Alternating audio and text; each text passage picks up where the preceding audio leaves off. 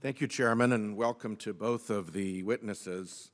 Um, let me start by uh, saying that we've heard a great deal in the course of this hearing about uh, rural infrastructure. Um, I'd like to focus a little bit on coastal infrastructure. America has coasts, and some of us represent states that have coasts. And along those coasts, we are seeing very serious predictions of very considerable sea level rise, including predictions that continue to come from the federal government under this administration. Um, working with NOAA, Rhode Island is looking at as much as nine feet of vertical sea level rise by the end of the uh, century. If that were to happen, Amtrak is gone through Connecticut. Uh, the map of my state would have to be redrawn.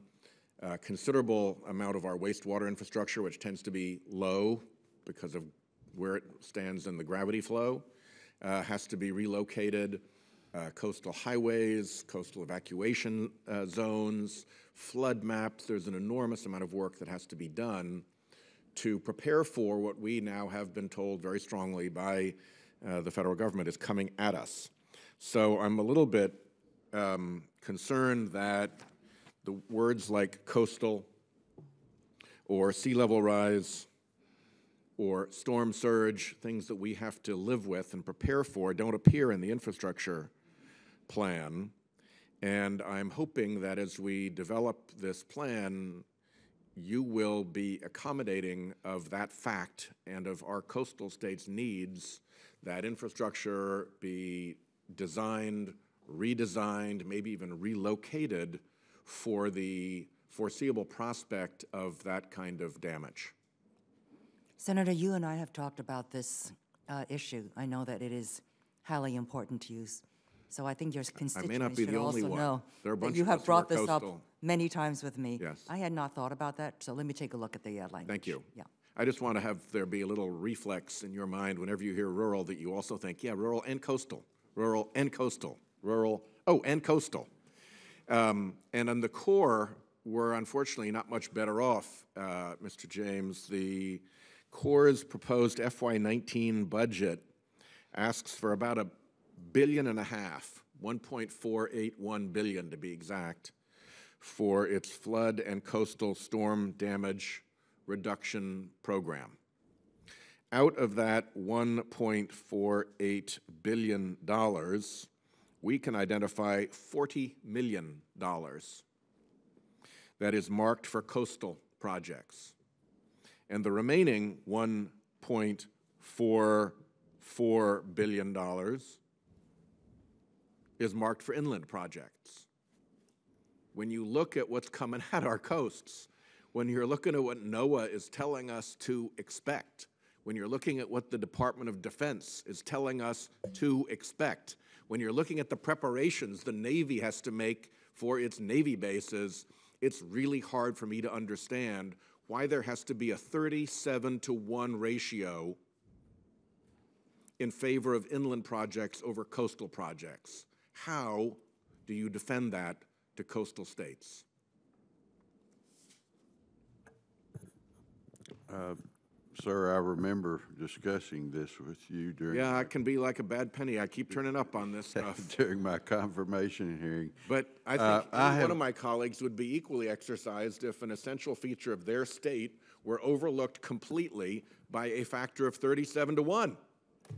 Well, my answer to you on, on the, that suggestion is that it's not thirty-seven to one. It may be thirty-seven to one of the entire dollars, but all of the projects are processed and considered the same, whether they be coastal or uh, inland. So that tells me there's just a lot more inland projects that require flood damage assistance than coastal. Well, what I don't want to be in is a position in which the budget doesn't authorize funding for coastal projects, that it's 40 million out of 1.4 billion, with the result that people don't apply because they look at that budget and say, it says in huge letters to coastal communities, not welcome here. So they maybe aren't participating because they take a look at this and they say, oh my gosh, this is all for inland and upland stuff. That's an invitation for us to stay away. And I don't want to be in a situation in which we're not getting projects in because of the budget, and then you're saying, well, that's because there are not enough projects in there. There's a circularity to that argument that leaves coastal communities uh, in real trouble. And I don't think coastal projects should be second-class citizens in your budget by this kind of a factor of 37 to 1. I know the Mississippi is important. I know that it floods. I know that there are upland floods in other places. But for crying out loud, when you're looking at nine coming feet of sea level rise along our coasts, there's a lot of infrastructure work that needs to be done to prepare for that. And I hope that you will find a way to send a signal to your organization and to coastal communities that coastal projects are in fact welcome here and are in fact a key, a critical part of the Army Corps' task. I have no problem with that, I, but that's, that wasn't my personal thinking to begin with. I was just trying to explain to you that if, if we had a hundred flood risk damage reduction projects in this country, and fifty of them were coastal and fifty of them were inland, from what I understand right now, those, it would be equal uh, application to those two areas. Well, we'll see, 'cause I don't know what the signal is from the budget, and I just want to close by saying I appreciate very much that I, I do not ascribe this to you. I do not think you personally have any distaste for coastal projects. We've talked our way through this before. I have full confidence in your personal judgment. But the Army Corps is a big bureaucracy, and 37 to 1 is a very big signal in a budget. And I'll just leave it at that. Thank Well, you. Senator Whitehouse, as important as it is to you, I will get with the chief and uh, his, his team, and I'll get with my team, and, and uh, let me get back with you. I appreciate If I've that. said anything that's not right, or if I was right. Let me make Appreciate it. sure. No, and you've been great to work with. Let me Thank you. make sure. Se- Senator Sullivan.